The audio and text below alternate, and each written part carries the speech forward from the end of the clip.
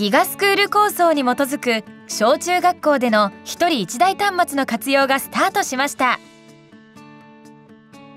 クラウドと1人1台端末を活用した授業で子どもたちの学びはどのように変わるのでしょうか。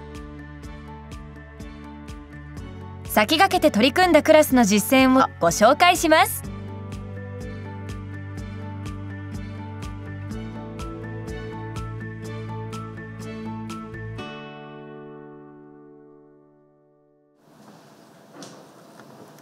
まだ子どもたちが登校する前の教室。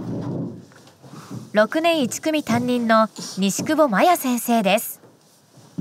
Chromebook を使った授業を始めたのはおよそ半年前からです。先生が毎朝欠かさずやっているのが Google スプレッドシートで作った連絡表の入力です。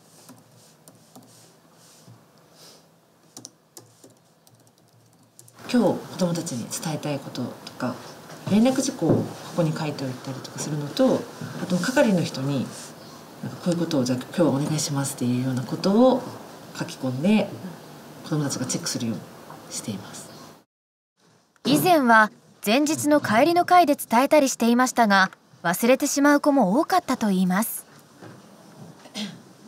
連絡表は Google クラスルームに送信しますが子どもたちが注目するように教室のモニターにも表示することにしました。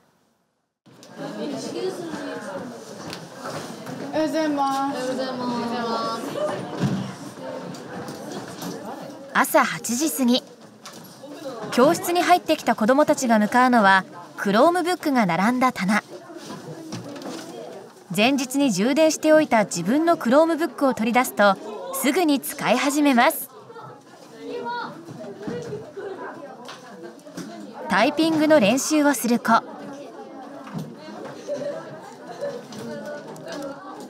迷路を作る子。検索をしたり好きなサイトを見たり自由に Chromebook を楽しんでいます。その間先生はというと提出された宿題のチェック。特に子どもたちを注意する様子もありません。朝と休み時間など学習以外の時間は自由に使っていいことになっているのです。はいじゃあ閉じます。朝の会が始まりました。子どもたちは Chromebook を閉じます。朝の会の後は復習の時間。この日は国語のプリントをやります。この時 Chromebook は閉じたまま。学習中は必要な時以外は開かないのがこのクラスで決めたルールです。プリントを終えた子が Chromebook を開き何かを始めました。英単語帳作りです。自分で覚えたい英単語を選び自分専用の Google スプレッドシートに入力していきます。はいもう30秒前なので閉じてください。単語帳終わり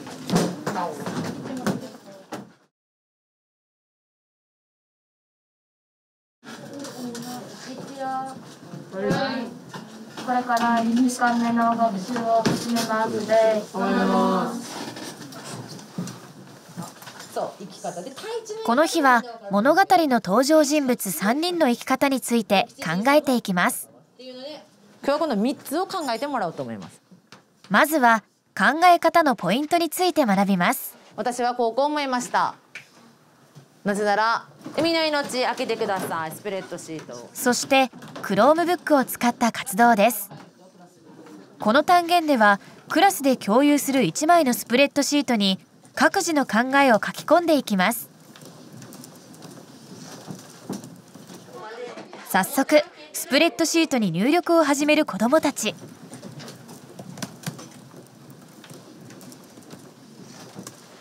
おや？考えがまとまらないのか手が止まっています。友達に相談する子もいます思いつかないなって言ってお友達の見てもいいからねみんなが共有ファイルに同時に入力することで友達の意見を見て参考にしたり自分とは違う考え方を知ったりすることができます。子どもたちが入力したスプレッドシートは先生もリアルタイムで見ることができるので進み具合がわかります。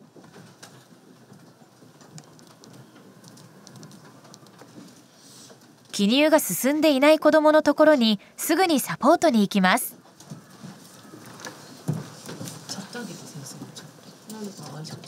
一回ストップしてください。閉じます。この時間で終わらなかった分は Chromebook を持ち帰って家で続きを書くことになりました。頑張りました。はい。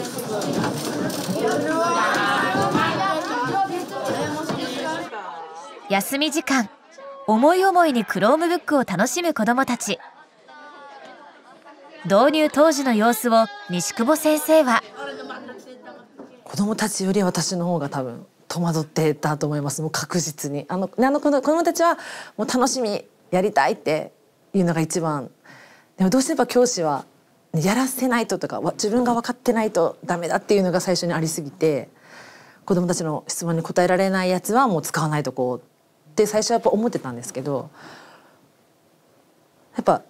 子供たちがこれやりたいですって言えば、まあ、やらせてみるかっていうふうにこう自分が思い始めてやっとこう肩の荷が降りてきてあ自分が知らなくてもいいんだみたいな。子供たちが知ってることを「あじゃあ教えて先生に」とか「じゃあ前でちょっとやって」って言えば私が教えるより子供たちはこう吸収していってるような気がしてそこから本当2ヶ月ぐらいからもあ自分が知らないものでも使わせてみようちょっと触らせてみようっていうような感覚になってきましたね。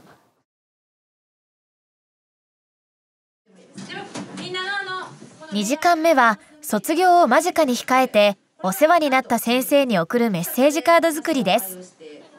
カードは担当する先生ごとにグループに分かれて作ります。校長先生にメッセージを書くグループは校長室で写真撮影先生はすぐに写真をチャットに投稿します。撮影に行った子どもたちはすぐに写真を受け取り作業を始めます。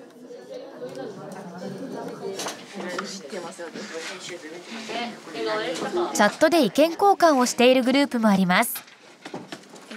どんなやり取りをしているのかちょっと覗いてみましょう。クリス先生にメッセージを送るグループです。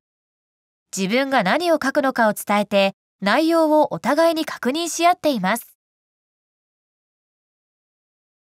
すると、チャットのやり取りを見ていた先生が驚くことに気がつきました。ん？お。これフォーム作ったの？あいいじゃん。クラスの一人が以前覚えた Google フォームを使ってアンケート結果をグラフにすることを考えついたのです。これなら多数決も一目瞭然です。あ素晴らしい。先生これ教えてない。子どもたちからこうパッて出た意見をできるだけこう否定しないようにこういう使い方がありますってちょっと自分の意図とは違うなって思ってもあそれじゃやってみるって言ってやってみてあ意外と良かったね。ってなるかあちょっとやっぱこっちの方が良かったんじゃないっていうようなこうなんて言うんですかね。私と子供のこのやり取りがすごく増えるツールになってるような気がするので授業だとどうしても教える側教えられる側って分かれて必ず教師が正解で子供が間違ってる時があるかもしれないっていうのがあるんですけどパソコンに関してはもう対等な先生が間違える時もあるし子供が間違える時もあるよね。じゃあお互い2人でやっていこうっていうようなところをすごく意識して自分ももうプライドじゃないですけどそういうのはもうなくして教えてもらおうぐらいの気持ちでやっているところはあります。で子どもたちの発想の豊かさにも気づかせてもらいましたね。全然自分では思いつかないようなことを本当今日みたいにあのフォームをパッて出す子もいたりあれも知らぬ間に上げてたので、ああいうのもなんかあやっぱすごいなって子どもたちってすごいなってこう自分がこう感心するようなタイミングって回数がものすごく増えてると思います。西久保先生の授業を見てきた渡辺光弘さんは半年で子どもたちのスキルが上がった理由を分析しています。まあ、スキルについてはすごく心配だとは思うんですよね子どもたちの身につけられるか。でも、えー、と子どもたちあの自分たちでいろいろ身につけて自分たちで教え合うようになっていくのでその先生があれも指導しなくちゃこれも指導しなくちゃと心配されるんではなくて、えーとまあ、子どもたちに任せようとか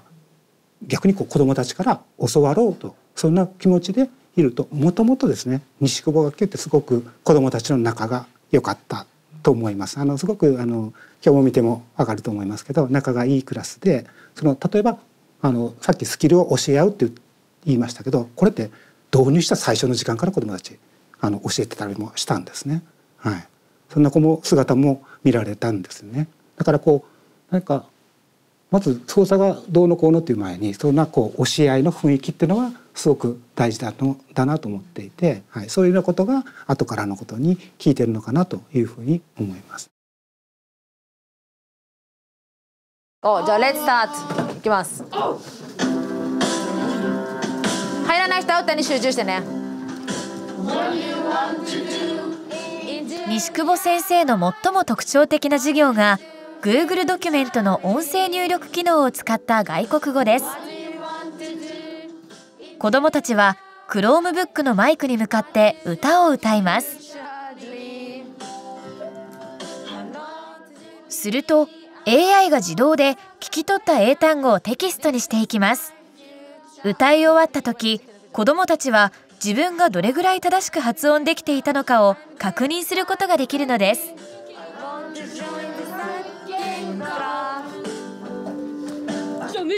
お入って入って入って入って恥ずかしがって発声をしなかった子どもたちも積極的に参加するようになりました。渡辺先生は西久保先生のこの授業に Chromebook の活用を始める時のヒントがあるといいますまあ、西久保先生はあの学校の方で外国語の担当されているので自分の得意なところから始めていってっていうようなふうにあの進められるといいのかなというふうに思います。Chromebook を使った授業について子どもたちは国語の語彙力とかがアップしたりまだこれからいろいろなんか勉強とか宿題とかをするようにパソコンでできるようになったりしもっといろいろなことに活用していきたいなと思ってます。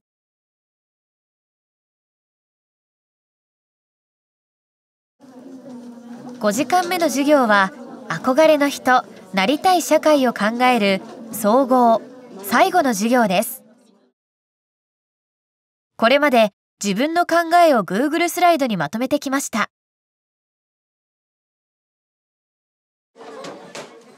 この日はそのスライドを使って班のみんなに発表します。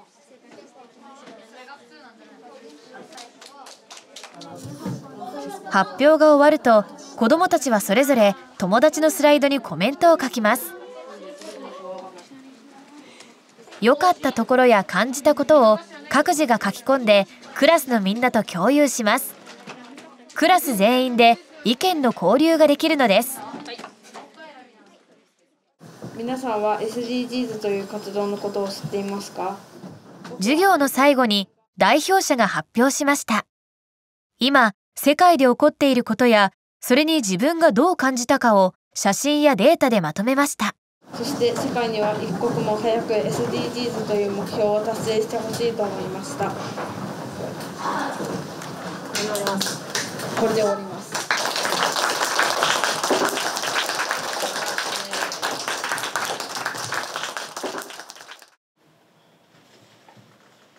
放課後。教室に残った西久保先生が一人一人のスライドにコメントを書き込んでいました。Chromebook を導入して半年。子どもたちの様子を保護者がどのように見ているか聞きました。この前参観日で使わせてもらってこのパソコンを。もうその時は保護者の方からいっぱい連絡が次の日連絡欄に「もうすごいですね」ってこの時代は子どもたちが何使いこなしてる姿を見て「あ時代は変わったなと思いました」とか「先生方も大変ですよね」とか。まあ自分の子が子供がああいうこう今日のちょうどスライド発表させたんですけどあんなふうにこうスライドを使いながらみんなの前で発表するっていう姿を見てすごく感動しましたっていうようなお声はすごくいただいてやっぱどうしても参観日とか保護者の方が見る機会って特定の3人とか4人とかが全体の前で発表するっていうのが基本だったっていうのと、まあ、紙ベースでこう版で発表するっていうのがベースだと思うんですけどそういうのがこうパソコンを使ってでグループで自分の子供のが見れてっていうのはすごく保護者の方にとってはあこんなに成長するんだって9月からだったよなって 思ったみたいでそれはすごく連絡でくださった保護者の方がいましたね。はい、最後に長年 ICT を使った授業について研究を続けてきた堀田達也さんにクラウドと一人一台端末の導入についてのアドバイスをいただきました。端末が来たら端末しか使わないかとか紙でやってたことが全部端末でデジタルになるかってそんなことなくて今回の映像を見ていただいて分かるように端末も使うけど別にノートも使うし教科書も使うし子供同士話し合いはするしでも端末持ってきて話し合うわけで。でも大人もそうですよね。あのコンピューターだけで仕事するっていうことはほぼなくてでもコンピューター使わないかっつったら使うわけで、うん、だからそそれはなんかあんまり気にしなくてもあのいい塩梅に使いこなせるようになるんだと思います。だそれは慣れの問題なのであの最初は使いすぎてみたり使わなすぎてみたりするんだけどやってるうちにちょうどいい塩梅ができてくるんだろうなと思いますね。とりあえずやってみる子供と一緒にまずやってみる挑戦してみる何ができて何ができてないかをお互い確認して、え進めていく上手な子は誰で？まだ上手になってない子は誰で？そのその人に応援していくような形で手をかけていくっていうえその考え方がまず一つ一番大事だと思います。一度教えた操作をしばらくして別の場面であの使うようになるのでそれを先生が「なんでそんなことしてんの?」って言わないってことですね。大事なことはあのいいいいことしてるねとこの間教わったことをここで使ってんだね素晴らしいねって言ってあげることだと。どんどんどんどん先生から手が離れていくのでそのことを怖いと思うとやっぱり止めたくなっちゃうけど本来学習っていうのは子どもたちが自分のこうなんていうかスピードで伸びていくものなのでむしろ止めない勇気っていうかなが大事だと思います先生より操作が上手な子が全員になっていきますから、あのなんでそんなことするの？じゃなくていい使い方をしてるねって言ってあげられるようにしてほしいと思います。